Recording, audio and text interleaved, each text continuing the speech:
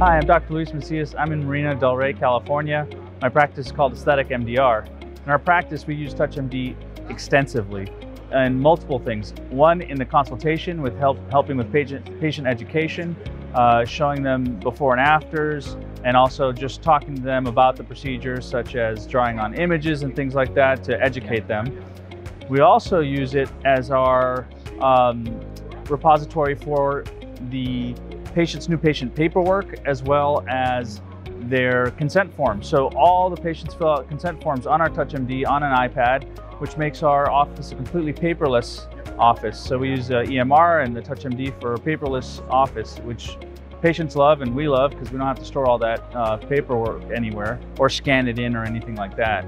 Uh, on, the, on the back end as well, it keeps the patients engaged with our practice because they have a TouchMD app at home which they log into and they can look at the consult because you can save those images and things like that um, onto their TouchMD app so they can relive that consult when they're at home. They can see what you talked about doing the uh, muscle repair in a tummy tuck, for instance, or the morphed images on a before and after for a rhinoplasty.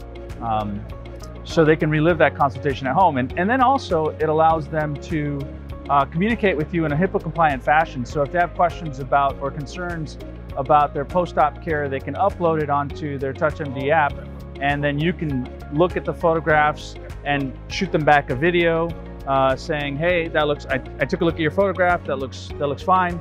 Uh, or, oh, looks like you might have a little infection, I need to give you uh, antibiotic and call that in. So it has really helped on all aspects of the practice as far as, uh, like I said, making us paperless, also uh, helps in the consultation, and it helps in just uh, cross-selling as well uh, because they can see what other practice, what other things we offer. So, in, for instance, I have an example where a patient came in for uh, breast augmentation and then saw that we do lasers and uh, wanted uh, lasers uh, performed. So, it allows them to sort of look at what we do, and and uh, we can also cross-pollinate with that with that feature on on the TouchMD. So, we're ecstatic that we, we uh, purchased the TouchMD and we utilize extensively in our practice.